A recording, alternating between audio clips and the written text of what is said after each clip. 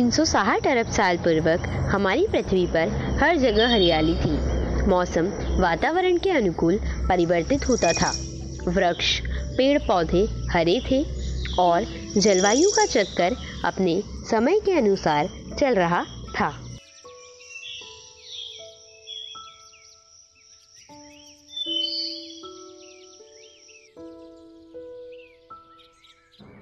जो हमारी पृथ्वी है, हर साल इसका तापमान बढ़ता ही जा रहा है। इस मार्च के महीने में जहाँ औसत तापमान 30 से 33 डिग्री होना चाहिए था, वहाँ इस मार्च के महीने में तापमान उत्तर भारतीय क्षेत्रों में 40 से 43 डिग्री सेंटीग्रेड था। क्यों? आपको वातावरण का मिजाज कुछ बदला बदला नहीं दिखाई दे रहा है। जलवायु परिवर्तन की वजह से मौसम पर प्रतिकूल प्रभाव पड़ रहा है। आंधी तूफ़ान के साथ बिजली गिर रही है। विश्व के कई इलाकों में बर्फीले पहाड़ों की बर्फ़ पिघल रही है। समुद्र का जल स्तर बढ़ रहा है। कुछ छोटे छोटे द्वीप जल स्तर बढ़ने से विलुप्त हो गए हैं। और कई देशों में इसका प्रभाव बाढ़ के रूप में दिख रहा है, जैसे कुछ देश चाइना और इंडोनेशिया हैं।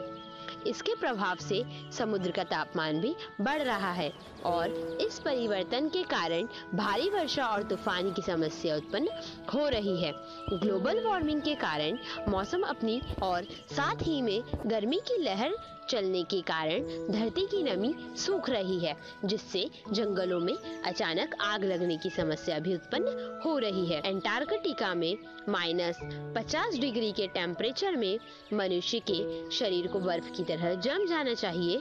वहाँ आज तापमान बढ़कर माइनस 12 डिग्री सेल्सियस हो चुका है और कई भारत की प्रमुख नदियों का उद्गम हिमालय की बर्फीली चट्टानों से ही हुआ है।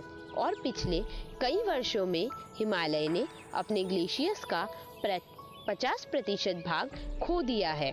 और जिस दिन यह ग्लेशियर पूर्णतः समाप्त हो जाएँगे तो समुद्र में जल की अधिक मात्रा होने के कारण समुद्र का जल स्तर बढ़ जाएगा, जिससे कई राज्य समुद्र में डूब जाएँगे और कई इलाकों में समुद्र का जल शहर की ओर प्रवेश कर सकता है।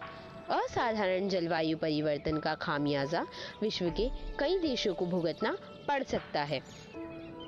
विश्व के कई देश भू संकलन और भूकंप जैसी समस्याओं से परेशान हैं और कई देश बाढ़ जैसी समस्याओं तथा मौसम के परिवर्तन से आंधी, तूफ़ान और बिजली के कारण जंगलों में आग लगने की समस्या से जूझ रहे हैं।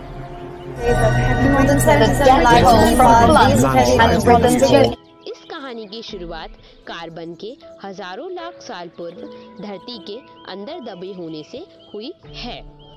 और जिस प्रकार वातावरण में कार्बन डाइऑक्साइड की मात्रा बढ़ रही है, उसका कारण औद्योगिकरण, कारखाने, मानवीय गतिविधियाँ, परिवहन के साधनों का दुरुपयोग करने, जनसंख्या वृद्धि के कारण पशुपालन के कारण पेड़ों की कटाई, जंगलों में आग लगाना तथा कचरा फैलाने जैसे कारणों से कार्बन डाइऑक्साइड की मात्रा बढ़ती ही जा रही है और जंगलों में आग लगने से भी कार्बन का उत्सर्जन अत्यधिक मात्रा में हो रहा है। इसके कारण सन 1760 में धरती का तापमान सामान्य की तुलना में अधिक तेज़ी से बढ़ने लगा, जिसे ग्लोबल वार्मिंग कहा गया।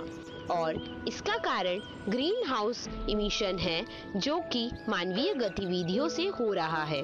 ग्रीन हाउस गैसें हमारी धरती पर प्राकृतिक रूप से उत्पन्न होती है, पर मानवीय गतिविधियों, जैसे कि जीवाश्म ईंधन के जलाने के कारण एग्रीकल्चर के कारण, पेड़ों की कटाई के कारण और कचरे का अनौपचारिक होने के कारण, जिसे अचानक ग्रीन हाउस गैसें बढ़ने लगी। ग्रीन हाउस गैसों ने पृथ्वी को चादर की तरह गहरा हुआ है, जो कि सूरज के प्रकाश से गर्मी की लहरों को अवशोषित कर रहा है। इसे ही ग्रीन हाउस इफ़ेक्ट कहते हैं। इसी फाइट के कारण अब तक अर्थ का टेम्परेचर संतुलन में बना रहा है। हमारी धरती का भविष्य हमारे हाथों में है, जिसके लिए हमारी कम्युनिटी को एनवायरमेंटल फ्रेंडली उपायों का प्रयोग करना चाहिए। ग्लोबल वार्मिंग को नियंत्रित करने के कुछ उपाय इस प्रकार है। पहला, जीवाश्म ईंधन के प्रयोग की जगह हमें प्राकृतिक ऊर्जा के स्रोतों का प्रयोग करना चाहिए, जैसे सौर ऊर्जा, जल से उत्पन्न हाइड्रोलिक ऊर्जा तथा पवन ऊर्जा। दूसरा, परिवहन के उपयोग से उत्पन्न ग्रीन हाउस गैसों में कमी करना चाहिए। तीसरा, वनों की कटाई पर पाबंदी लगाकर ऊर्ध्वाधर खेती का प्रयोग करना चाहिए। रिड्यूस, जिसका अर्थ है हमारे द्वारा उत्पन्न किए जाने वाले कचरे की मात्रा को कम करना। रीयूज, जिसका अर्थ है वस्तुओं का एक से अधिक बार प्रयोग में लाना। रिसाइकल, जिसका अर्थ है किसी भी वस्तु को देखने की जगह उसे दोबारा उपयोग में लाना। और ऋतिक का मतलब है कि इस बात पर विचार करना कि हमारे कार्य पर्यावरण को किस प्रकार से हानि पहुँचा रहे हैं। रिमाइंड का अर्थ है जनता को समय समय पर पर्यावरण सुरक्षित करने के लिए जागरूक करना। भूटान एक कार्बन नेगेटिव प्रदेश है, जहाँ कार्बन का ज़ीरो प्रतिशत उत्पादन होता है। कोस्टा रिका में 99 परसेंट प्राकृतिक ऊर्जा का उत्पादन होता है चाइना अब पवन ऊर्जा के निर्माण में सभी देशों से आगे निकल चुका है Extinction. So wake up before it's too late.